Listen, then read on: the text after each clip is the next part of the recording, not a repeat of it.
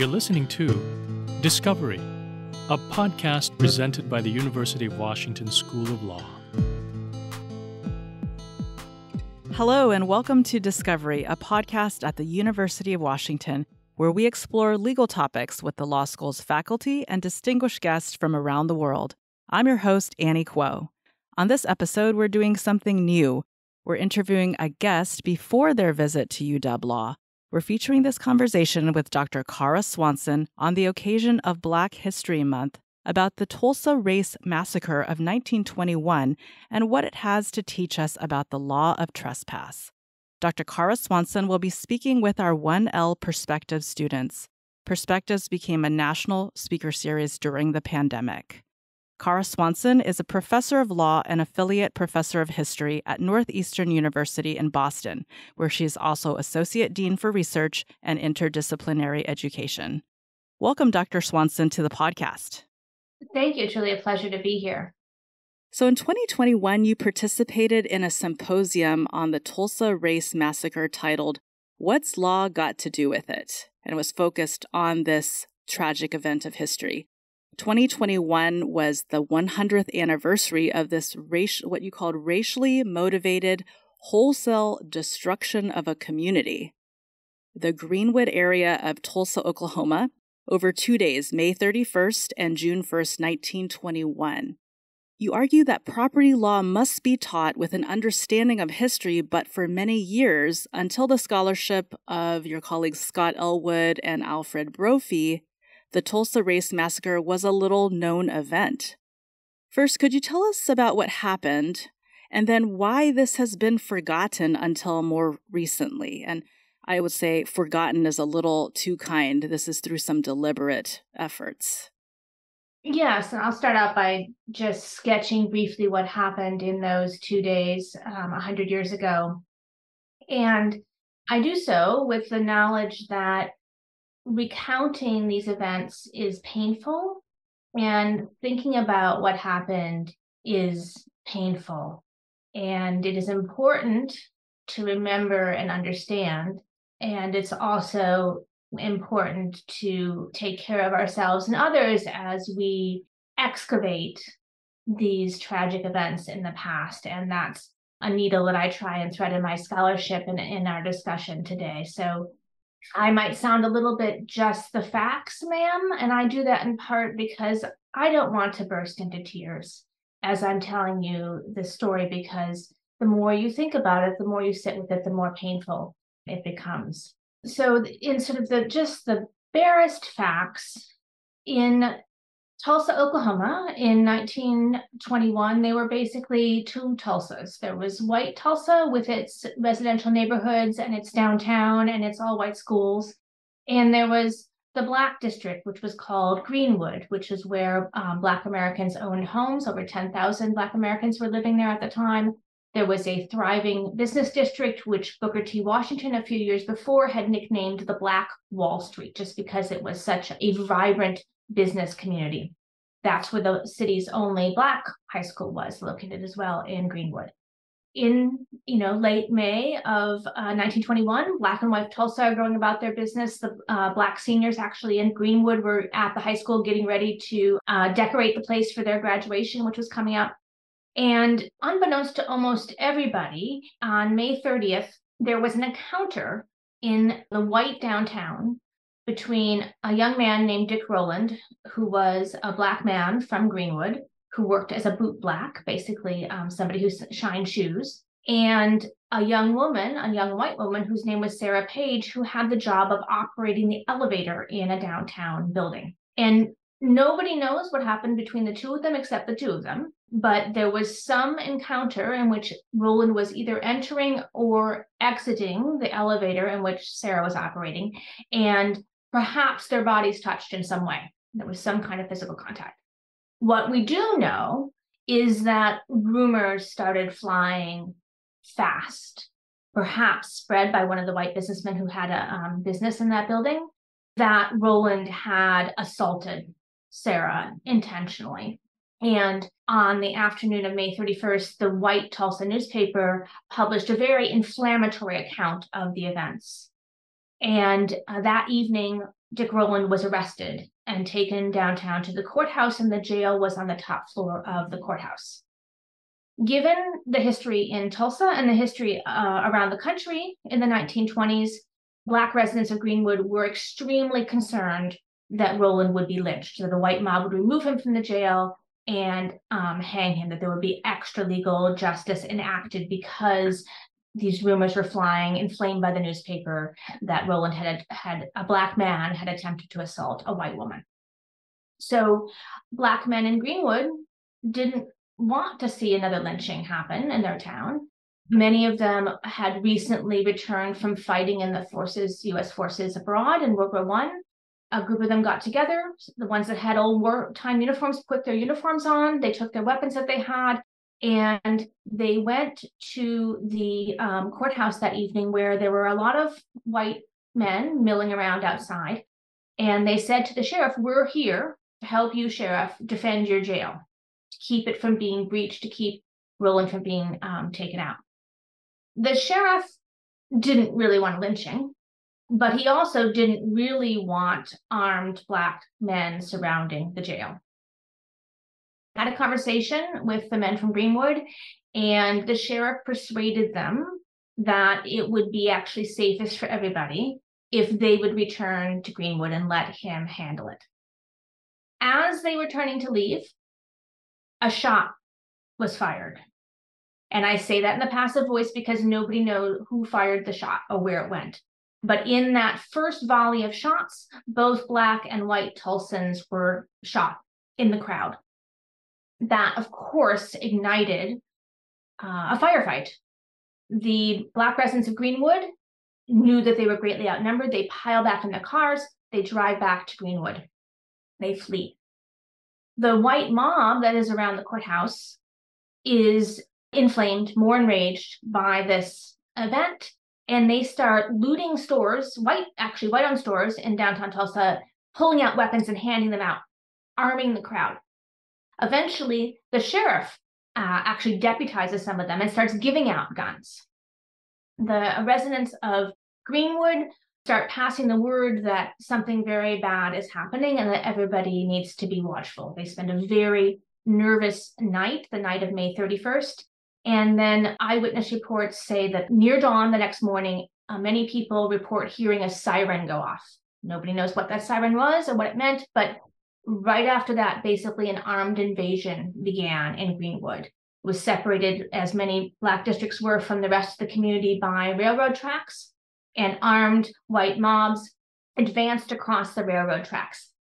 An airplane flew overhead with people firing out of the airplane trying to hit black residents in the streets. There was a machine gun put at the top of a hill at top of one of the prominent streets that was firing machine gun rapid fire down the streets uh, many residents many women and children also the elderly were fleeing trying to get north trying to get out of the city altogether fleeing into the country other black residents predominantly men took up arms and prepared to defend their homes. And basically, what um, ensued was urban warfare. You know, door to door, people running in and out of buildings, trying to shoot from the windows, hide, repel the invaders. But Black Greenwood was definitely outnumbered. And what um, happened over time is that the white mob killed many people and started going door by door, building by building, and telling the residents, come out.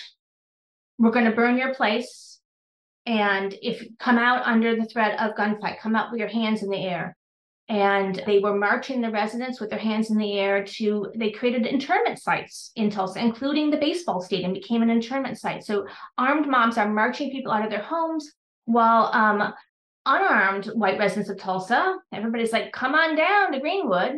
They literally arrived with shopping bags and people started going through and looting businesses and homes. And then other groups of people were coming along behind them and setting them on fire. So removing the people under the threat of death, looting their possessions, and burning things to the ground.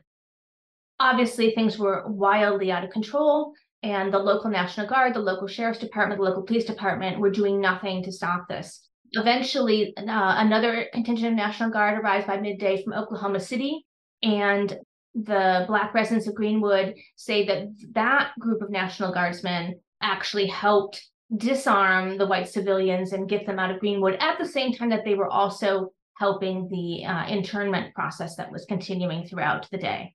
And by the end of June 1st, there was no Greenwood. The business area had been burned to the ground. More than a thousand homes had been destroyed. Everybody had fled. They didn't have a place to live, or they had they were interned. They were out in the country. The number of people that died is unknown to this day. Some early, obviously false estimates were 29 people. Other estimates are uh, 300 or more. Um, we can say that um, $26 million of property was destroyed in that day and a half, and it took months and months and months to rebuild Greenwood, although it did come back as a vibrant business district by World War II. And the, the American Red Cross came in and treated it as a disaster zone, set up tents, and the residents lived in tents all winter. So that's the story of the Tulsa Race Massacre. And you also asked me why and how it had been forgotten. And it was forgotten in two ways. White Tulsa wanted to forget it because it was embarrassing. It was not a shining moment for the town. Black Tulsa wanted to forget it because it was traumatic. It was absolutely horrifying moment in which there was no safe place to be and there are eyewitness accounts that were collected afterwards of you know what, touch children talking about hiding under beds as people came into their house and set it on fire. Women talking about fleeing down the street people talking about trying to help their elderly relatives evacuate when they could not move well mean, all the kinds of fear that you can imagine. And due to those conflicting reasons to forget um, it was something that was not talked about in Tulsa and therefore was not talked about in Oklahoma and is not talked about in other places. It's largely been left out of formal curriculum of um, US history. And I say that as somebody who was educated in schools in, in, the United States that I never ran into this in any of my education, including my years of getting a PhD in US history. This is not something that um, was ever part of my curriculum. So when I was asked to participate in this symposium, the first thing I had to do was learn about this. And I want to separate then, yes, forgotten, not talked about, but also not forgotten, because whenever we use the word forgotten, we have to say, well, who's doing the forgetting? I was educated in majority white schools, and in those schools, I wasn't taught about this. If you talk to the right person in Tulsa, you would always hear this story right? Of course it wasn't forgotten, right? So forgetting is always a question of which community is forgetting and which community is um, remembering. So when we say it is forgotten, that is true, but we also cannot forget the people who were remembering at the same time.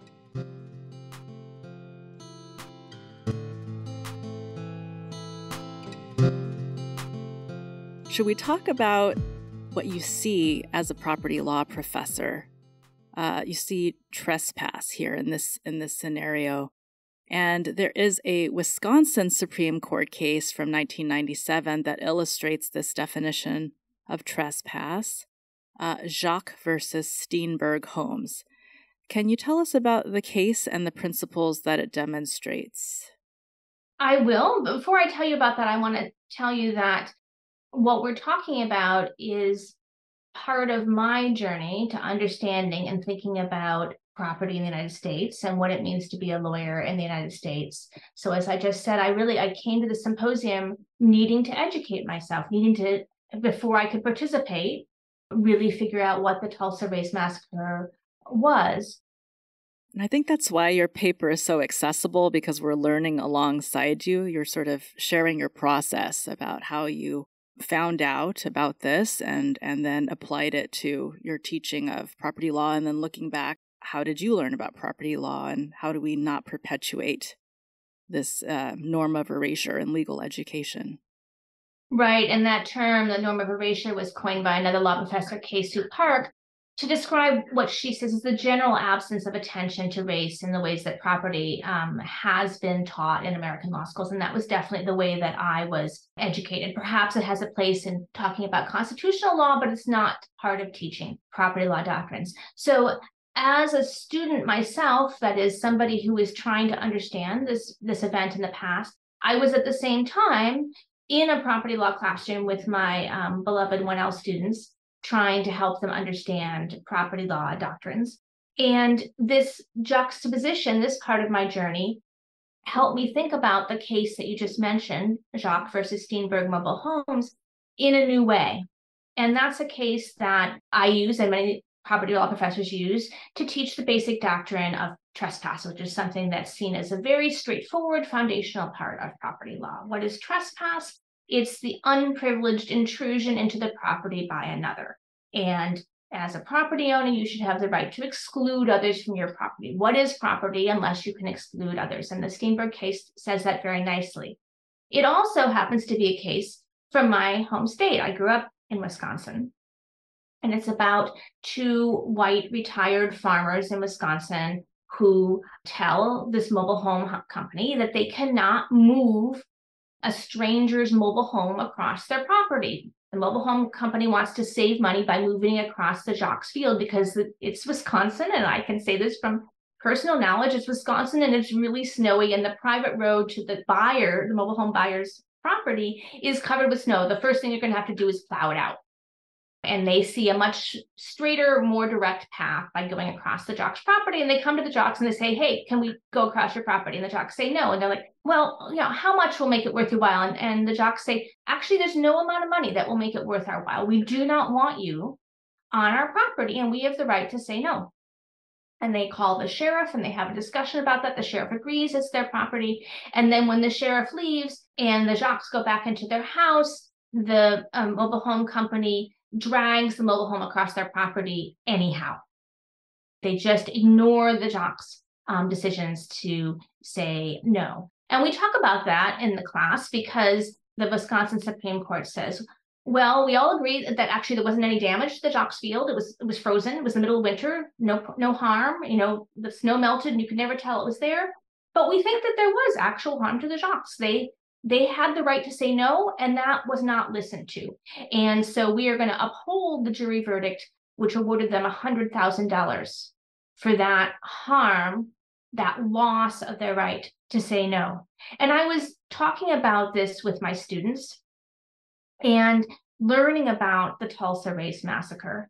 And I started thinking about the massacre, which, of course, as I just recounted to you, is a story of murder and arson and theft and extremely serious crimes. But underlying all of those crimes is the basic act of trespass, right? Stepping onto somebody else's property, taking somebody's things without permission. And I thought, what would it mean to learn about the doctrine of trespass with understanding of this uh, massacre? What do we think about it differently? What do we think differently about those elements? An intentional intrusion without privilege onto the property of another. And how do we think about the law when we start thinking about the careful consideration that the courts and the jury gave to the Jacques when they had that ability to say no taken away from them? And the consistent failure of all elements of the legal system since 1921 to the present to acknowledge the harms that were inflicted on the residents of Greenwood. And by the by all elements, I mean um, the sheriff and the police and the National Guard and the mayor at the moment during the massacre, and then thereafter, because there were black lawyers in Greenwood, and they set up in a tent and they started bringing in clients and bringing lawsuits and seeking insurance damages and seeking remediation for the harms. And those lawsuits were all dismissed. Nobody got any successful claims. The city of Tulsa did an investigation of what they at the time were calling the riot. And the reason that we don't ter- use that term riot anymore is because they concluded that it was a riot of Black Greenwood, that they had caused it themselves. And therefore, there was no need to offer any reparations because they, they had been the rioters, which of course was just backwards. And so there's been there was attempt in the 90s to seek reparations through uh, the legal system, and there's now currently an ongoing new lawsuit under the um, theory of nuisance, which is still going forward and might get somewhere. But here we are, over 100 years later, with the legal system denying and again and again that it has a remedy for the harms of these residents. And when we hold it up against the as I said, the careful consideration given to the Jacques and careful consideration that my students usually approve of. That yes, it was extremely wrong of the mobile home company to drag something across their property when they specifically said no. And the Jacques didn't have to say yes. That seems to be an easy thing to agree to. But then how do we hold that up against the events in Greenwood? What do we learn from that? Well, we learn a couple things, right? We learn that there's no talking about property in the United States without some attention to the racial identity of the person asserting ownership in that property. And we also learn, which I think is an important lesson to learn early in law school, that you know remedies are important. It's all very well and good to say you have property, but what's the power of the state to stand behind that? The court in Jacque said uh, property rights are hollow unless the mobile home company has to pay damages, right? Even if there's not actual damages, there's some kind of compensation. And of course, property became the promise of property ownership which the residents of Greenwood thought that they had achieved, became hollow when the taking of their property uh, was left without any legal remedy. And I think uh, often, especially in the first year of law school, we focus on the doctrines and we forget about the remedy part. And the remedy, of course, is the power of the state to step in and enforce whatever the doctrine is. This is fascinating. I, I want to extend the conversation a little bit more on this issue of the you know construction of of race as tied to property law, and then delve into why it's not surprising that the Tulsa Race Massacre is not part of the property law curriculum. So first on on race, in your paper you talk about how racial identity is significant to questions of property as illuminated by history and uh, the, the Tulsans on Black Wall Street were some of them just a generation removed from slavery. Now they had their own property and their own cars and businesses, and property ownership was a big deal. But then, in their defense of their property, something backwards happened in the, the state's enforcement of the law. Can you paint that scene for us and the irony and the hypocrisy that it reveals? Again, if we go back to what this 1920 moment, and Tulsa itself had gone from being a almost nothing scrap of town on the prairie to being a bustling oil boom city. That's what's happening in Tulsa in the 1920s. That's what happened over the last decade or so, right? Um, boom in population. And the Black Tulsans there came to Oklahoma in one of two ways. Some of them were actually brought as the enslaved property of Cherokee, who were moved from the southeast United States to Oklahoma, bringing their enslaved property um, with them. And that's how some Black Americans came to Oklahoma. An even greater number came after the Civil War as they were seeking to enact their new freedom. And one of the most important parts of the new freedom was the ability to own property.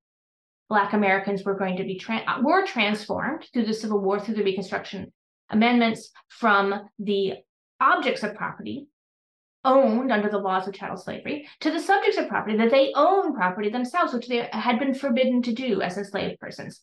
The Supreme Court has said multiple times that enabling Black Americans to buy and sell property is one aspect of removing what the law calls the badges and incidents of slavery, right? There is a particular special meaning to owning property as a Black American, particularly owning property as a Black American in 1920, where the residents of Tulsa are just one generation removed from slavery. And as best as we know now, uh, at least one of the victims in Greenwood had actually been born in slavery, right? That they had come from being the object of property to now the subject of property. So the real property that they owned and the personal property that they owned was uh, had those additional layers of meaning beyond what it meant to white Tulsans, right? The fact that they had uh, deeds to their house, that they had walked into a store and exchanged money for these goods, was a sign of their full citizenship and also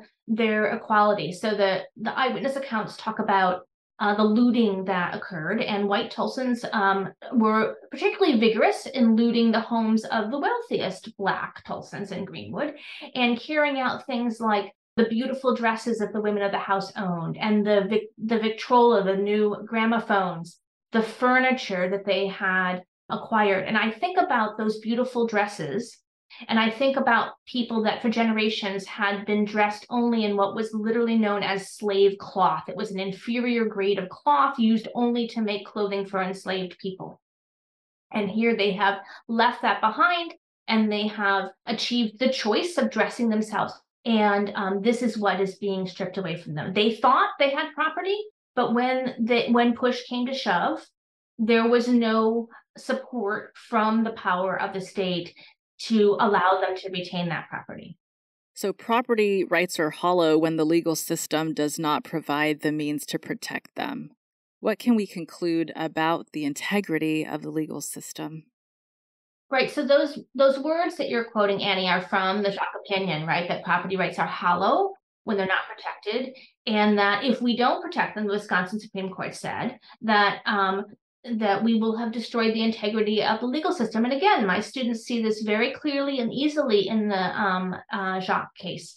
The court says, uh, and it seems to be a plausible argument, that if we, the state, don't punish entities like the mobile home that are um, blatantly trespassing against the wishes of a property owner, people will be inclined to self help you know, getting out their guns and defending their property. And that's what we're trying to avoid with a system of laws and courts, right? That we have nonviolent means of resolving disputes and achieving justice.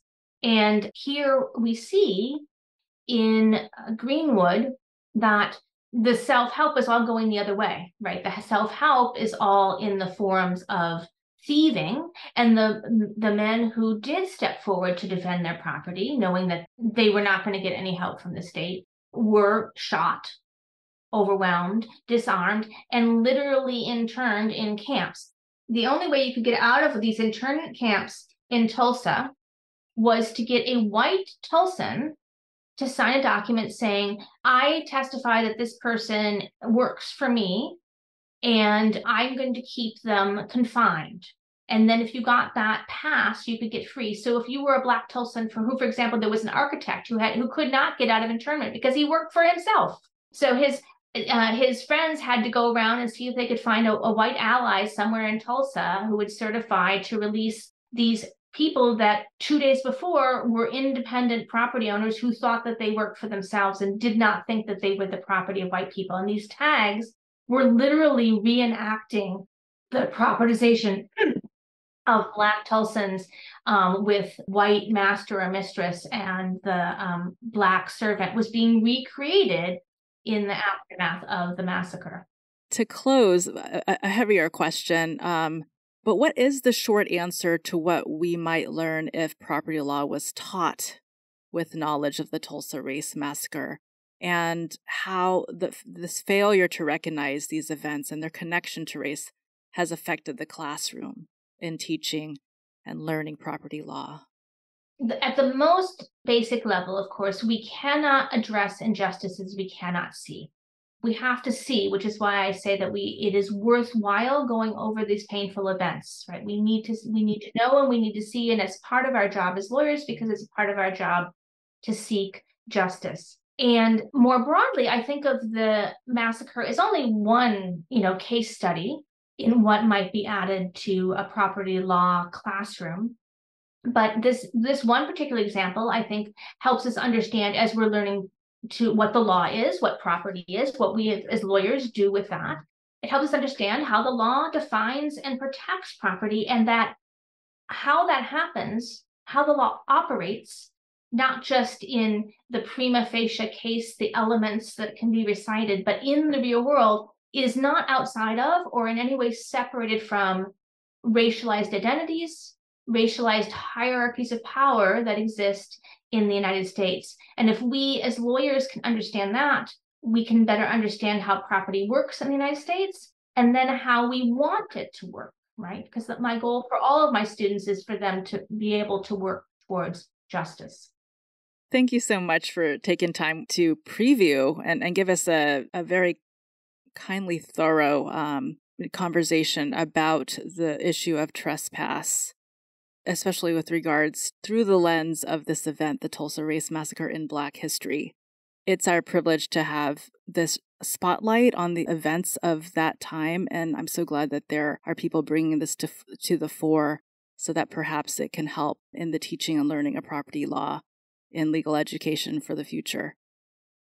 Thanks for joining us on the podcast today. Thank you very much for inviting me. And um, if nothing else, I hope this podcast um, helps your listeners understand something that I tell all of my students, which is property law is not as boring as you think it is. Dr. Kara Swanson is a professor of law and affiliate professor of history at Northeastern University in Boston. In 2021, she was selected for the Law and Society Association's John Hope Franklin Prize, which recognizes exceptional scholarship in the field of race, racism, and the law for her essay on race and inventive legal memory. Discovery is hosted by Annie Kuo and produced by Greg Olson. Additional voiceover work by Ben Gonio with original music by John Blumster. Discovery is recorded by the University of Washington School of Law in Seattle. For more, visit law.uw.edu.